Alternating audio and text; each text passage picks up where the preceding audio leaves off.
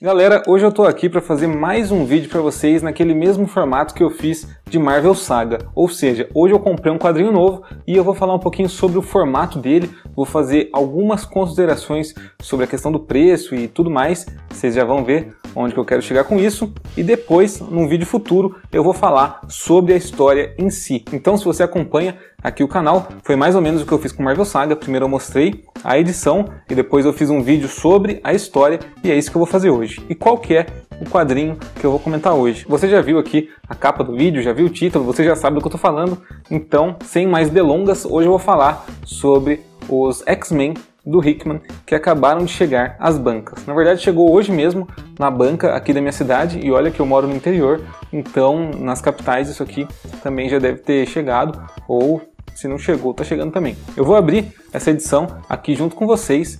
Eu vou fazer algumas considerações sobre ela e vou mostrar como é que tá o acabamento do X-Men número 1. Então, vamos lá. Lembrando que se você gostar do vídeo, deixa ali depois o seu joinha, porque isso dá uma força tremenda pro canal. Se você não conhecia o Soco Foguete, já aproveita e clica ali embaixo para se inscrever e comenta ali embaixo o que você achou dessa edição do Hickman, caso você já tenha pegado ela em mãos. Vamos dar uma olhadinha aqui então, galera, no X-Men número 1 do Jonathan Hickman, que estava sendo aí extremamente aguardado. E vocês podem ver que eu ainda nem tirei do plastiquinho, que eu quero ter aqui as primeiras impressões juntamente com vocês. Então, vamos lá. Ó, galera, dá pra ver já que a edição ela tá bem bonita. Isso eu não vou negar não. Daqui a pouco eu vou reclamar do preço, já vou dar um spoiler aqui do vídeo, mas dá pra ver que a edição realmente tá caprichada.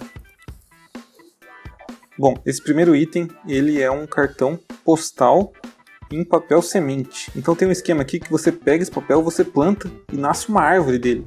Isso é um negócio bem da hora e pelo que eu vi, isso aqui tem a ver com algum tema que está aqui dentro do X-Men do Hickman, mas eu ainda não li para ter certeza.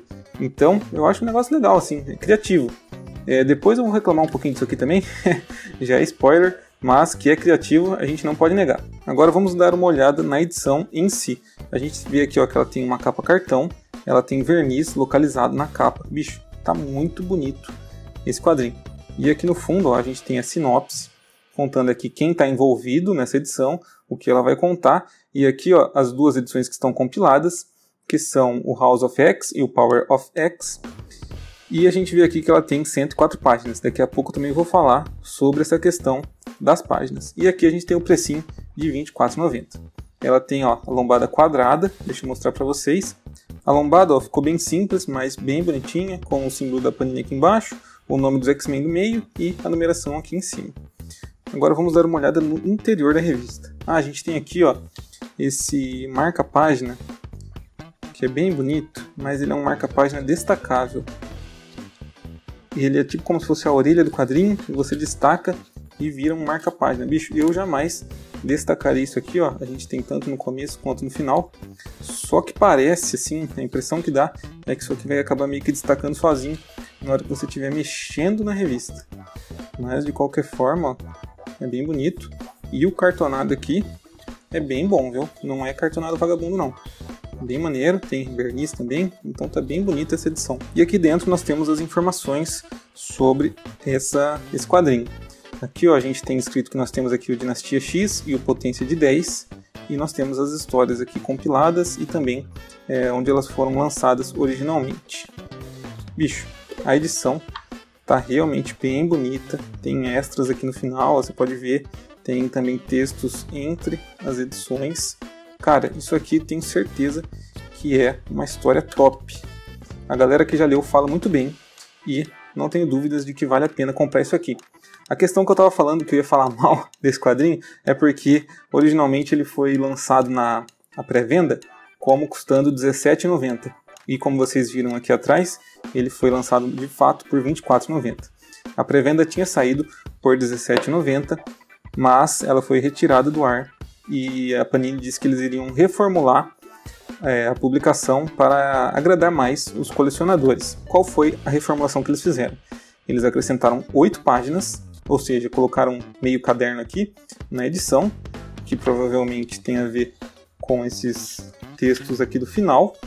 Então nós temos aqui ó, uma, duas, três, quatro, cinco, seis, 7, 8, 9, 10. Talvez antes nós tivéssemos menos extras e agora eles acrescentaram alguns a mais. E nós tivemos esses marca-páginas incluídos na edição e também o cartão postal de papel semente. Como eu disse, eu achei isso aqui criativo, achei bonito, mas eu preferia pagar R$ reais a menos nesse quadrinho, numa edição mais simples, do que pagar aqui essa edição cheia de frescura por R$ 24,90. No geral, eu acho que isso aqui, como falam bem lá fora, vale R$ 24,90. Eu acho que tá legal, acho que não tá fora, acho que não tá muito fora do padrão da Panini, mas eu acho que a questão é que como eles cadastraram antes por R$17,90 e depois colocaram por R$24,90, parece que foi uma jogada deles, porque isso aqui ia ter muita procura. Então eles falaram, bicho, esse título vai ser muito procurado, vamos colocar uns brindezinhos a mais e vamos aumentar o nosso lucro nessa revista. Não sei se de fato foi isso que aconteceu, mas é a impressão que eu tenho. Depois vocês comentem ali embaixo o porquê vocês acham que teve esse aumento nessa revista, mas eu acho que muita gente vai concordar comigo aí e vai ter é, a mesma visão do que eu. Enfim, eu acho que a edição tá bem bonita, eu acho que ela vale a pena ser comprada porque o material que está compilado aqui é muito bem falado, mas fica esse, esse ranço né, com a edição porque ela poderia ter saído mais barata. Enfim, depois aqui em um vídeo futuro eu falo de fato sobre as duas HQs que estão compiladas aqui dentro e, como vocês podem ver, ó, isso aqui é parte 1 de 4. Nós teremos quatro encadernados que vão compilar é, esse, essas duas minisséries, né, que são a Dinastia X e a Potência de 10, e depois nós teremos os títulos seguindo os encadernados em revistas comuns, pelo que eu entendi.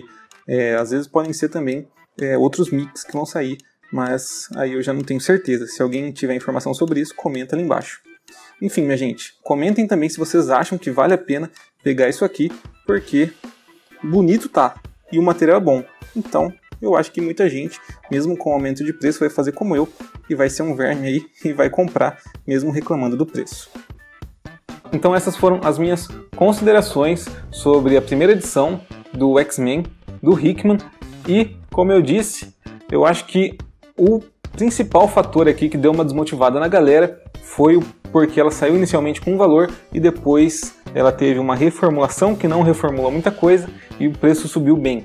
Então eu acho que isso aqui vale sim a pena ser comprado, só que eu dá aquela aquela indisposição na hora que você vai comprar, porque você sabe que isso aqui podia ter saído por 7 reais mais barato. Mas nós somos vermes, não somos? Isso aqui já sumiu da Amazon, isso aqui, sei lá, daqui a pouco já vai esgotar no site da Panini.